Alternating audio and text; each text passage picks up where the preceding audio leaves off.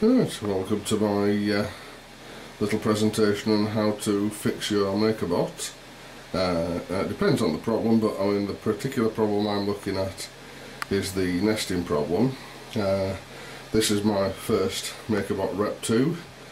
Uh, that, as you can see, has just done 336 hours of building. Uh, it failed about 90 hours in uh, with uh, this problem. This is my second MakerBot 2 uh, and this one has uh, failed at 18 hours.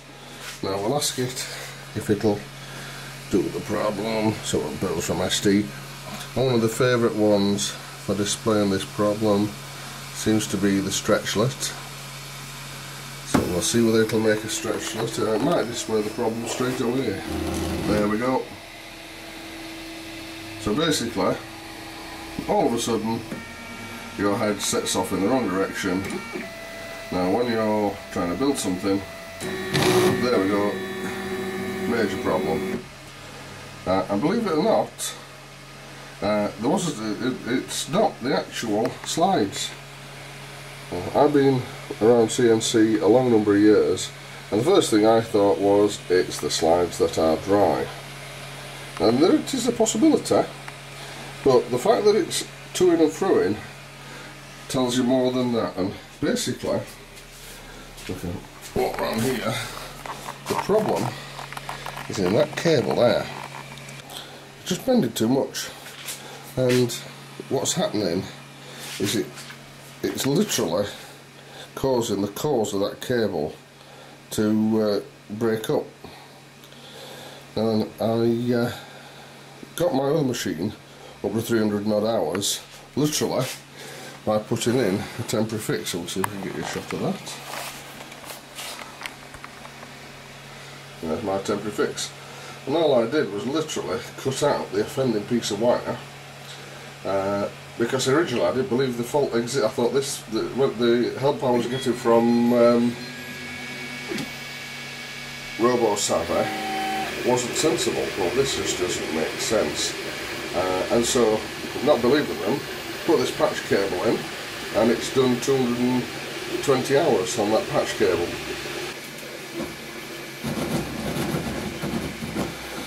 If you can do that and your MakerBot suddenly goes into rumble mode, that's where your problem is. I just noticed this on this setting machine, I couldn't miss getting you a shot of it. Look how tight that cable is there. That cable is so wrapped around there. It is unbelievable. No wonder this one's failed at 18 hours. Right. So, the way that this works is that there is a, let's turn the power off, there's like a little piece of, it's actually um, what would you call it, uh, a pin, sprung pin that holds the wires in and then you can literally pull the wires straight out and then up the top there. Now I'm going to push the black one back in because the black one handles the um, what's the so the uh, homing switch. And doesn't seem to suffer as badly. Or perhaps what it's doing isn't as critical. I don't know. We'll have to see uh, how it turns out. And then basically trying to remember how that uh, connector's held on there. It feels like a cabby clip which I should be able to get to with a pair of pliers. What I might have to do is lift the machine on its end and have a look. Unplug the wires and then we don't pull them. Just lift this up as long as you turn it 90 degrees this way it seems to be alright, don't lose its uh, wheel or anything. Yeah, it's just simply a cabby clip. I'll, I'll switch it off for a second. Right, so what I've done is I've just cut across that little cable tie that holds the the two wires in. Um, I must admit, having seen this black wire now, I'm beginning to wonder whether I ought to do that at the same time, but if you pull that plug out there, it actually does say X on it for the X-axis, and the actual damaged section is there. So really, all that cable is fine. So you don't need to cut it short. You know, leave yourself some room on there, and then if you do ever want to put it back, you've got yourself as much room as possible.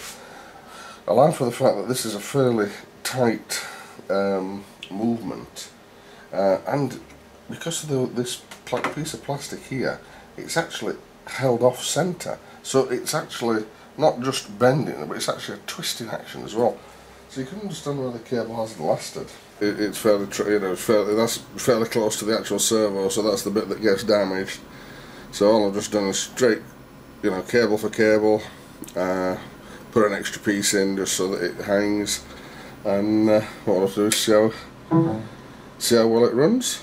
We'll do the, uh, what they call it, the uh, bracelet. So we'll do a build from SD and I'll take a shot from the front. Right, so let's do the old uh, build from SD. Go down and select the stretchlet, which we sort of get an idea now that it is running by now it would have already faltered if it was uh, still falter uh, what I'll do is I'll uh, rather than bore you with the whole stretchlet build we'll just record the finish bit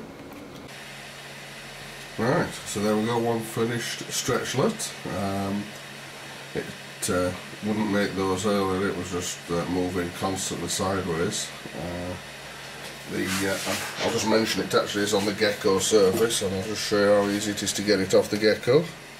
It literally it is held fairly well but once you want it off it comes off with a spatula.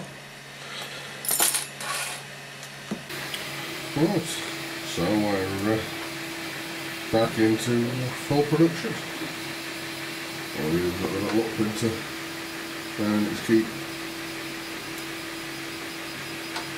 So, like so. It might be a bit of a Heath Robinson repair, but it does solve the problem.